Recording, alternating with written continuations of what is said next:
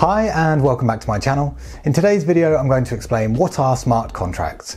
With cryptos being massively in the limelight in the past 12 months again, you may have heard the term smart contracts and you may be wondering what are smart contracts used for and what are they meant to solve. If you enjoyed this video then I'd really appreciate an early thumbs up as it really helps with the YouTube algorithm so that my content can reach more people. Also, please subscribe and press the bell icon to be notified of the latest videos as I upload new content every week on personal finance, investing, and how to reach financial freedom. So, you're probably familiar with what a contract is. Basically, a legal document that states and explains a formal agreement between two different people or groups to do or not do something in the future within certain parameters. So, what are smart contracts? Smart contracts are like contracts in the real world, except they are digital. The term smart contracts was coined by a computer scientist called Nick Szabo back in 1994. Smart contracts bring contracts into the digital age and are written into lines of code stored on a distributed, decentralized blockchain network. The smart contracts are self executing, which is what makes them smart, as it avoids the need for a trusted intermediary or authority that generally costs money. And they permit transactions and agreements to be carried out by the parties involved. For example, they can help you exchange money, property, or anything of value in a way that avoids middlemen and is transparent and conflict free. The code controls the execution and transactions are trackable and irreversible. For example, if you know sites like Indiegogo or Kickstarter, or any crowdfunding platforms, you'll understand that people post projects with a funding goal with the aim to collect money from supporters who believe in the project. Kickstarter, in this instance, acts as the intermediary between the project creator and the supporters of the project. For this project to work, then both the creators and supporters need to trust the third party, which is Kickstarter. If the project reaches its goal, the project creators expect the money from Kickstarter. And the inverse of this is also true in that the supporters want their money to go to the project creators if it reaches the monetary goal.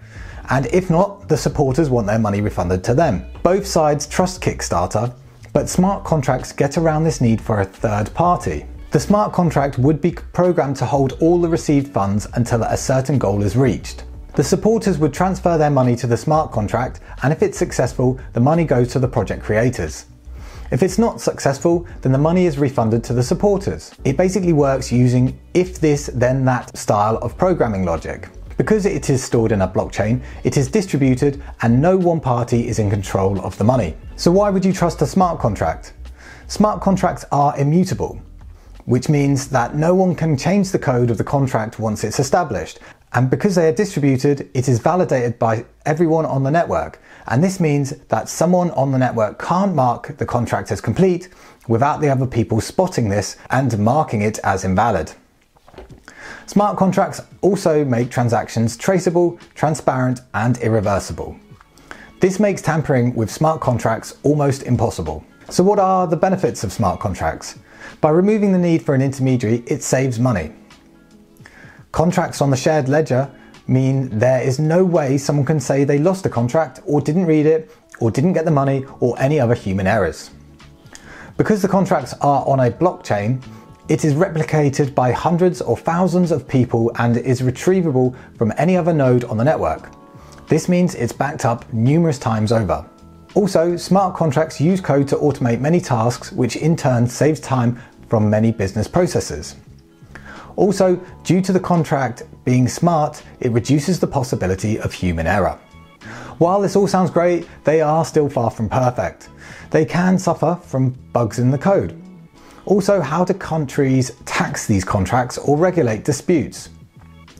Or what happens if your apartment you're meant to sell burns down just as the payment went through? In real life, this would be dealt with in court, but on the blockchain, it's not so simple and there is no way to revert a transaction. So there are still a lot of challenges for smart contracts before they are widely adopted, but experts are trying their best to overcome these. Ethereum was specifically designed to support the use of smart contracts and uses them with a programming language called Solidity, which has a syntax similar to JavaScript. Bitcoin also has support for smart contracts, although it's a lot more limited than Ethereum. Nick Szabo is actually often rumored to be the real Satoshi Nakamoto, which, if you don't know who that is, then it's the anonymous inventor of Bitcoin. But Szabo has denied this. And even this week, ADA Cardano said it's set to allow smart contracts in the future. So if this has inspired you to want to invest in Ethereum, Bitcoin, or ADA, then why not do it on one of my brokers of choice, which are eToro and Coinbase? I've got a video explaining how to do that up here and in the description below, along with an affiliate link if you fancy just diving straight in. If you found this video helpful in any way, then please give it a thumbs up as it really helps support the channel. Do you think smart contracts are the future? If so, which crypto do you believe will be the biggest in time to come? Let us know in the comments below. I'd love to know and I read all your comments. Also, if you want to learn more about how eToro works or more about personal finance or investing, I have numerous videos on my channel, so I recommend you go check them out. And please subscribe and press the bell icon so that you don't miss out on any future updates. It's been Ollie from Get Geek Finance. Thanks for watching and I'll catch you in the next one.